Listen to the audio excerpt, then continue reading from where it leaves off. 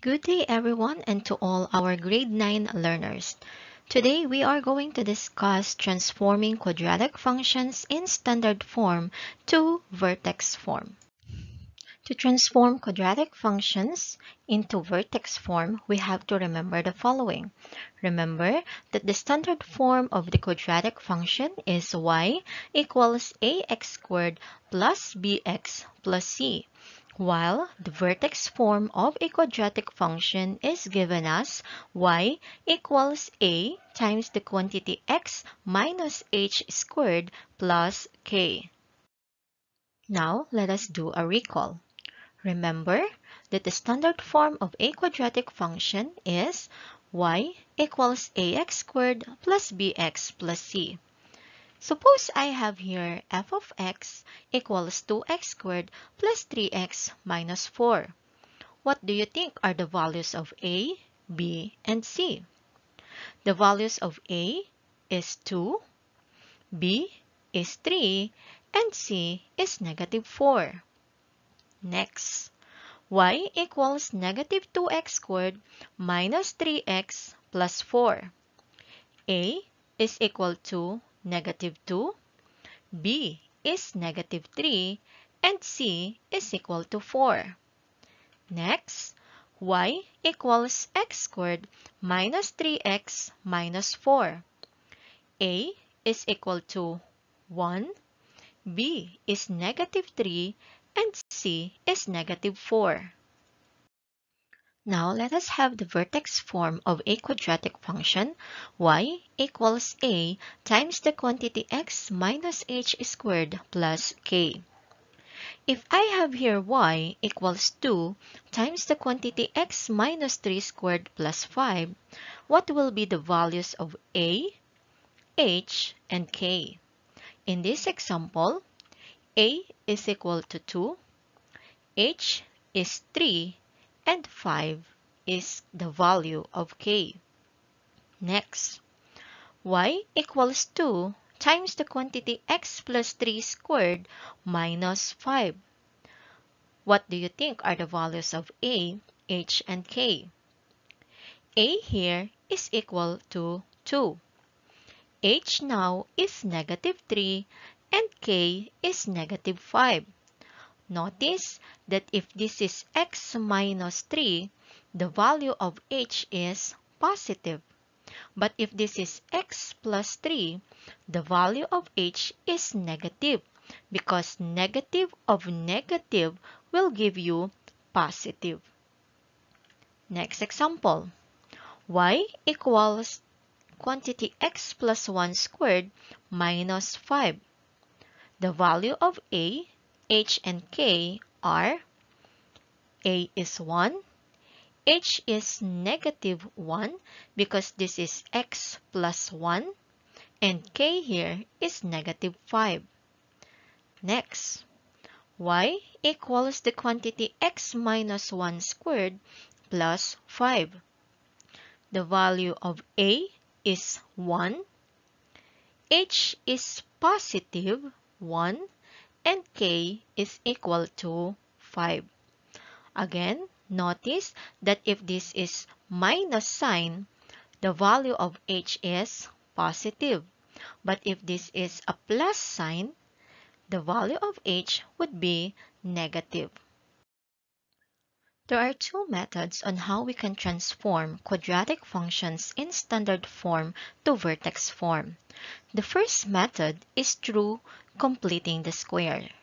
The second one is using the formula to find the vertex of the quadratic function. These are the steps in transforming quadratic functions in standard form to vertex form using completing the square. The first step is to group together the terms containing x. The second one is to factor out a.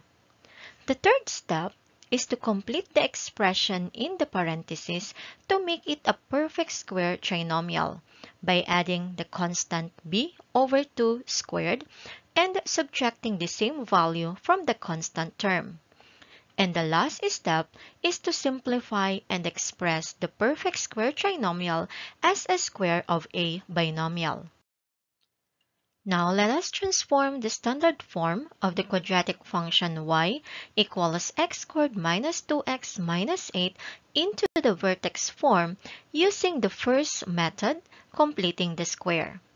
Remember, the first step is group together the terms containing x. Thus, we are going to have y equals quantity x squared minus 2x minus 8. The second step is to factor out a. But in this example, the value of a is 1. Thus, we are still going to have y equals x squared minus 2x minus 8. Third step is to complete the expression in the parentheses to make it a perfect square trinomial.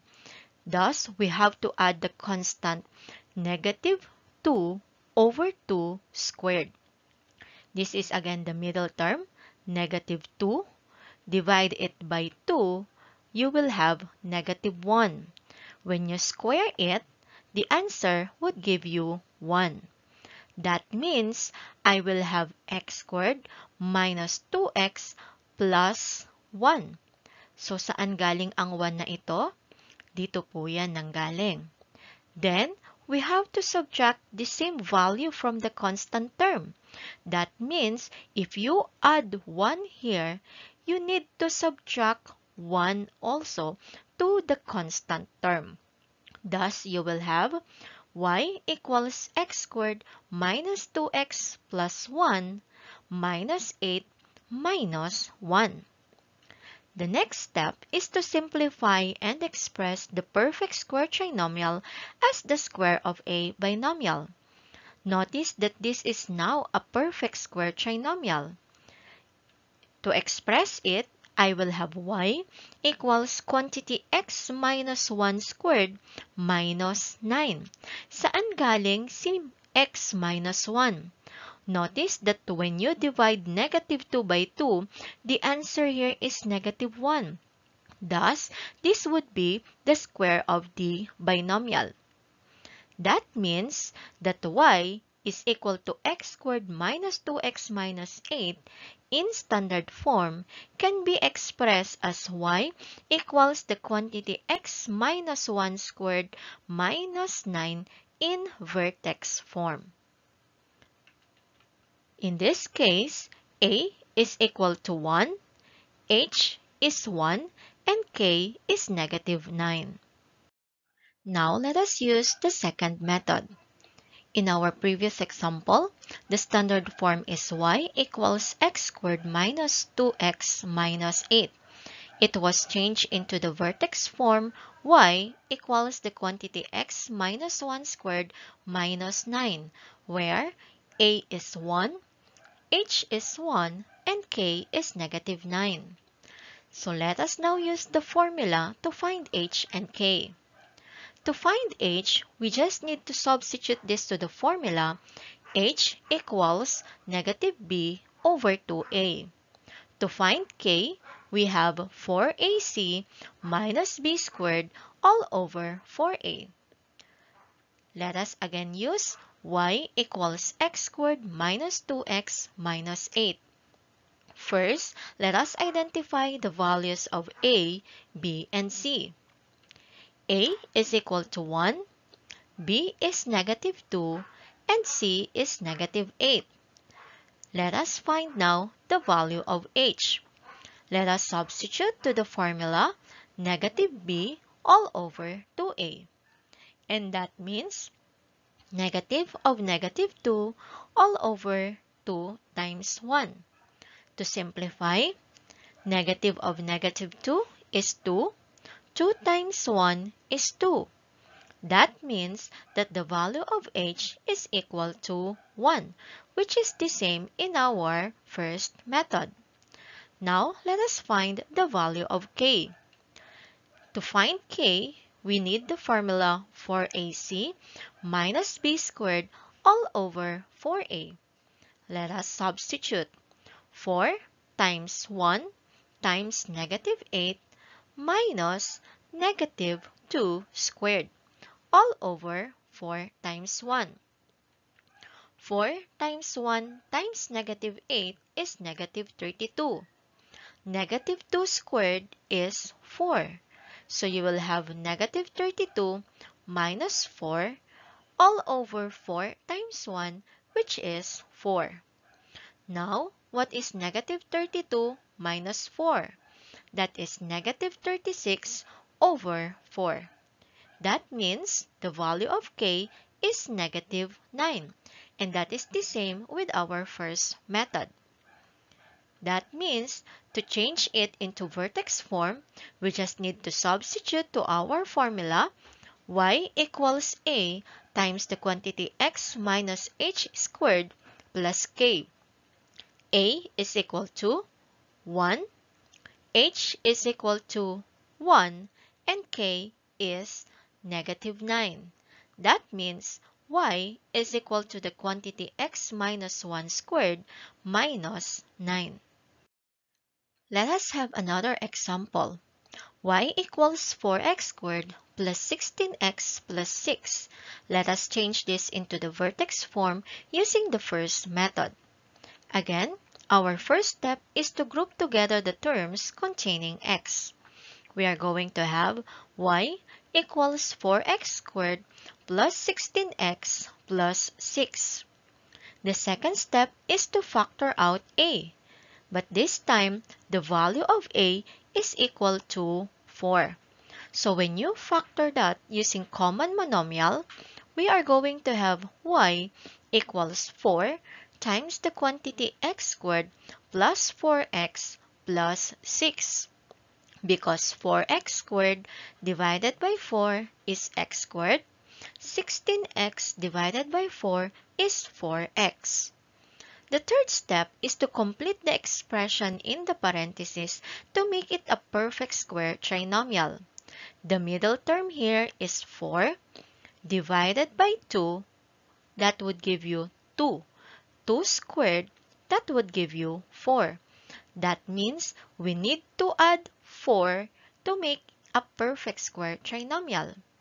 But we need also to subtract the same value from the constant term. But notice that we have here a value for a or of a. That means we cannot simply subtract 4 here, but we need to multiply 4 by 4.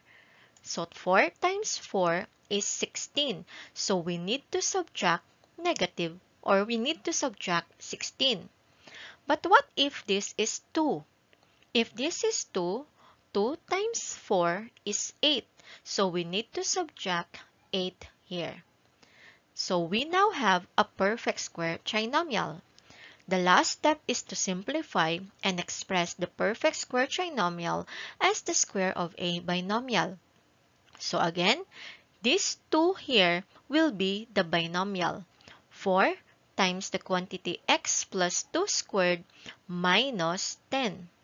That means y equals 4x squared plus 16x plus 6 can now be expressed in vertex form as y equals 4 times the quantity x plus 2 squared minus 10.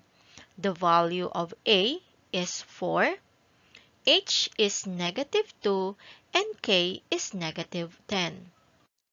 Now let us solve it using the next or the second method. Again, in our previous example, the standard form y equals 4x squared plus 16x plus 6 was changed into y equals 4 times the quantity x plus 2 squared minus 10, where a is equal to 4, h is negative 2, and k is negative 10. Now let us use the formula to find h and k. Again, h is equal to negative b over 2a. k is equal to 4ac minus b squared all over 4a. In our quadratic equation or function in standard form, the values of a is 4, b is 16, and c is 6.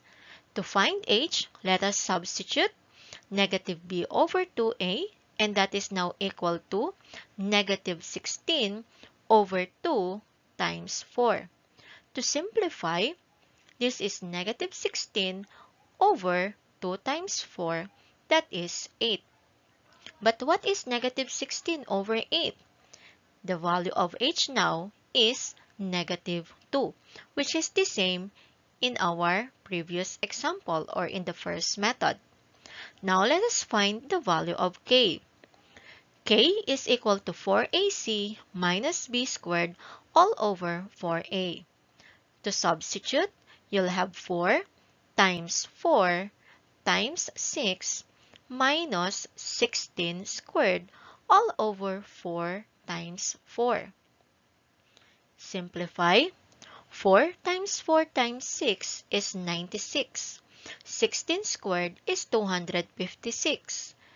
Now, 96 minus 256 over 16 is equal to negative 160 over 16. That means the value of k is negative 10. The same with our first method. That means the vertex form of y equals 4x squared plus 16x plus 6 is y equals 4 times the quantity x plus 2 squared minus 10. Notice that this is x plus 2 because the value of h is negative 2.